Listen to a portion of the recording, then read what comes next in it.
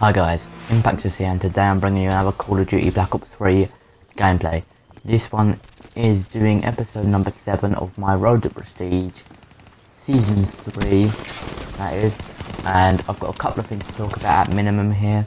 And I'm going to try and speak a little bit slower because people say, I've been told I spoke a little fast in uh, the comments of one of my videos before.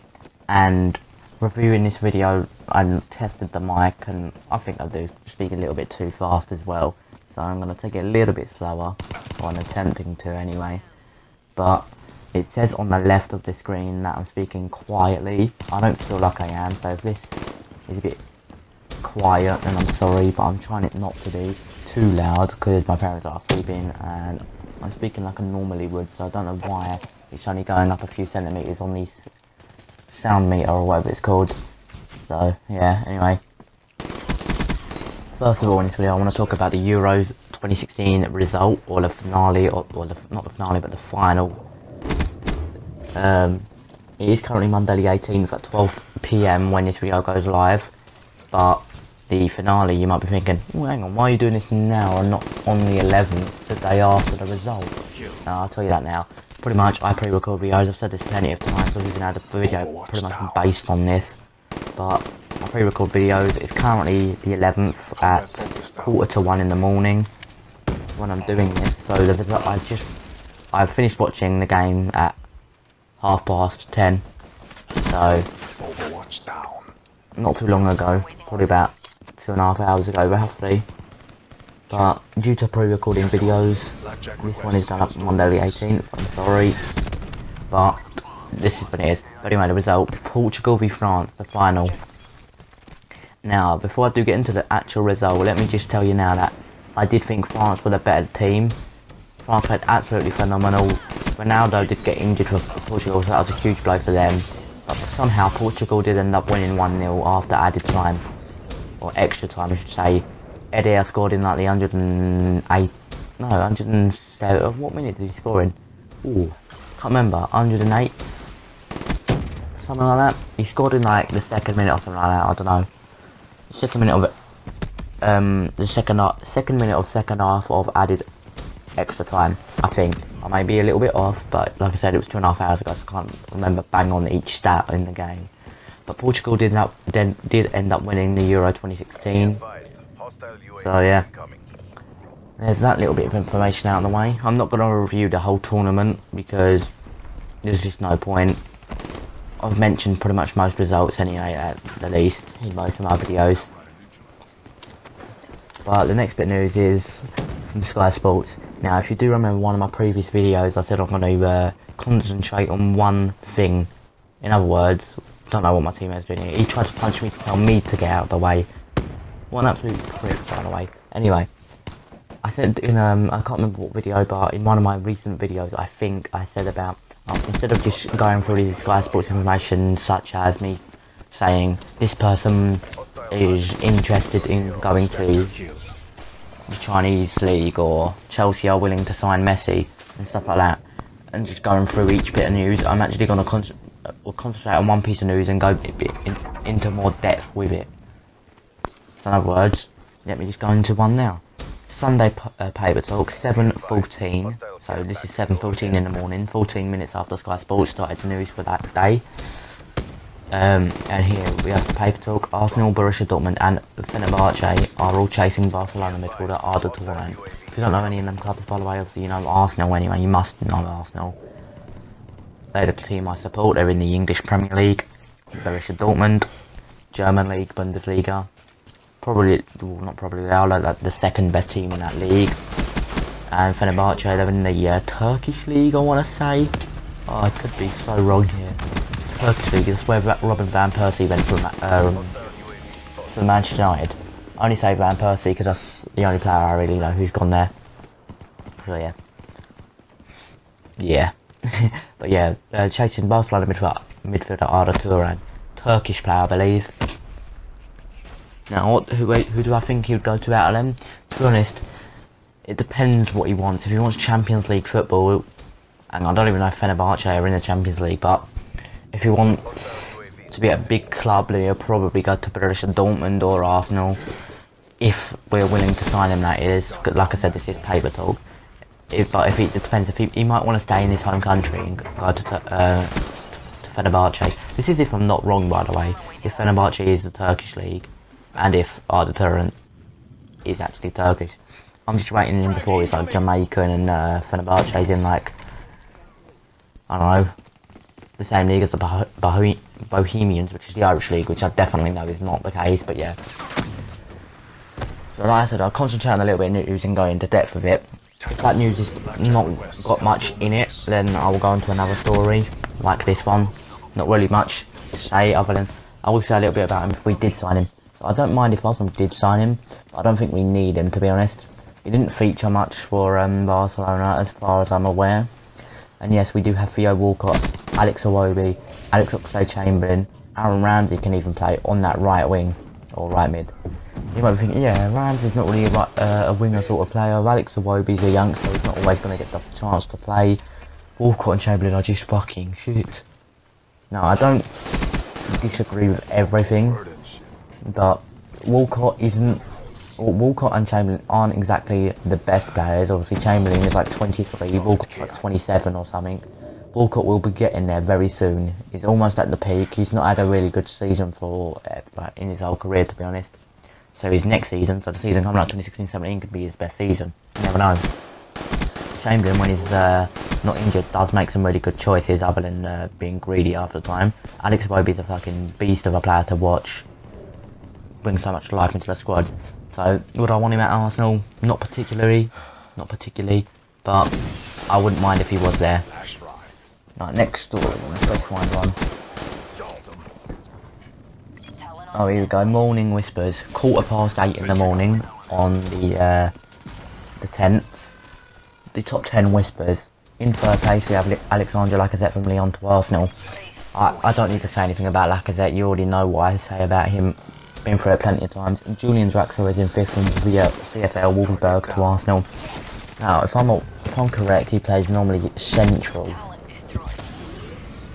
Is he a central player? Correct me in the uh, comments if I am wrong. But do I think we should sign him again?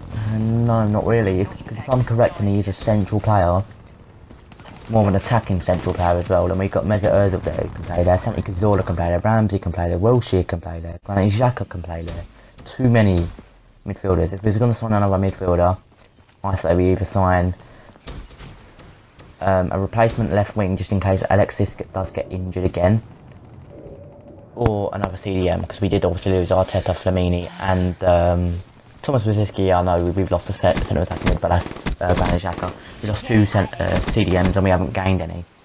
Obviously, we did gain Mohamed El Neni, but that wasn't as a um, that was just as a not a replacement, it was just temporary. Whilst ours were injured, but because they're gone now, that's one replaced. We've got to replace another one. That's what I think anyway. Number seven, we have Arsenal, from Arsenal to Juventus is Alexis Sanchez, which actually does get mentioned later on that uh, Arsene Wenger said he was not for sale. So ignore that, that's not a whisper anymore because yes, he's not for sale. Thank God for that. I think they bid like 34 million for him. If we let him go, then Arsene Wenger would be a little bit drunk. We can't let go our star man. He was almost top goal scorer last season and he was injured for half of it. Coming short behind Giroud. I think he was actually, he did end up becoming our uh, top goal scorer in the Premier League. And I have no clue how I died there, by the way. That's why I watched the kill cam. I got three bulleted by the VMP in the toes, or below the knee. I just don't understand Call of Duty sometimes. But anyway, back to the news in 10th and another Arsenal little bit of news. We do have Arda Turan from Barcelona to Arsenal. Like I've said, I've already mentioned that in this video, so I'm not going to go into detail with it. Right. Any more news to go through this video? Oh, by the way, I will quickly mention my random class generator, which went up yesterday actually, will actually have uh, been a schedule for streaming. I want to attempt to do a schedule for streaming. I'm saying that now, but I haven't actually done the video just yet. I haven't even got the game plan for it. So I'm saying this in, it possibly was my streaming schedule. I might make it my streaming schedule. If I don't, I'm sorry that I've said this in this video. But if it's not, then stay tuned. That will be coming soon. possibly in another Road to Prestige episode or something else. So stay tuned for that. Right. Oh, my uh, Ooh, uh, anything else? I know there's a little bit more news than just that. We're only at about half 10 in the morning. Here we go. 10.49 a.m. Lyon president Jean or Jean uh, Michel Aulas since this Arsenal have no uh, have not made a bid for Alexandre Lacazette and says the Spark will not be leaving the club. That's like you could say that, but Lacazette, you don't actually know if he's gonna leave or not. I've already gone through Lacazette before. There's a little quote, look, well not quote, but there's a little uh, bit of what he said at the bottom. He's quoting what he said, but it's not actually a quote, if you know what I'm saying, really. Arsene Wenger did not mention anything to uh, the president while in France for the Euros. There's that. Uh, a bit of uh, Manchester City news here, by the way. Joe Hart faces battle to retain his first team place at Manchester City under Pep Guardiola, with Barcelona goalkeeper Marc-Andre ter Stegen expected to join the club in the summer. I actually think that's going to be a very good signing if they get that. Because Virgin is a decent keeper, to be honest. Joe Hart, I still think he's a decent keeper. Joe Hart, just not in the Euros. He did fucking awful in the Euros. He plays fantastic for Manchester City, but absolutely horrendous for the country. He's had, he's had a few good games for um, England. But not as many good games he has for Manchester City, probably due to the fact that he's not really used to playing. I, I, that's what I want to say anyway. He's not really used to playing with England. Like, he plays for City on a weekly basis. He's going to have more bonds there than he does for an England squad. That might be what it is, especially when other defenders are from Manchester United and Everton. I think uh, that was our defenders. But anyway, top 10 whispers again. This time it is at bang on 12 o'clock. Like I said, he's on first. Obviously, Lyon to Arsenal again. Jack, uh, Julian Draxler is in fourth from Wolfsburg to Arsenal. Arda Turan did creep up to number 7. So yeah, they're back in the same place. He's not going to go into them because I've already mentioned them in this video. Here we go, this is where it says that Juve foul in Sanchez bid. Juventus have confirmed that Arsenal rejected a 34 million bid for Alexis Sanchez. We informed the Gunners who asked for 34 million, surely a reasonable uh, fee. However, we, when we responded to this request, Arsenal told us they, they will not sell the player. So that's what I was mentioning earlier. Right, ex-Arsenal striker, I believe it was, Kevin Campbell, believes Arsene Wenger will not leave Arsenal for England. There's been plenty of that um, reports for, for the whole day, but it says it here again. Wenger to snub England. Arsenal striker Kevin Campbell former Arsenal striker Kevin Campbell does not expect Arsene Wenger to, take the England manager job, even if he is offered it. But there was a report on it that, uh, um, whatever it said, um, Arsene Wenger said, would he take the job? Why not? But he doesn't see him taking it in the next year because he likes to see out his contract. So he's got one more year with Arsenal. He'd rather see that out than join England as of now. So they might make an agreement maybe somewhere in a year that yes, he will become England manager. Just in the coming year instead of straight away. It'll be agreed to agreed to sign at the end of the season, pretty much. So yeah, breaking news: Manchester United have a clear run to signing Juventus midfielder Paul Pogba. Paul Pogba as Real Madrid end their interest in, in Euro 2016 start for economic reasons. Sky sources understand. Now, if Paul Pogba did return to Manchester United, let me tell you now that um, the league would be absolutely impeccable. The league would literally be the best in the world now. It's been the best for a couple of years now anyway, as far as I know. I still think it's the best league. But with Pogba and all the managers and all the other players coming here, let's just uh, say um, Zlatan's here as well, isn't he? All these players coming to the Premier League, all these managers, top quality managers and players coming to the league.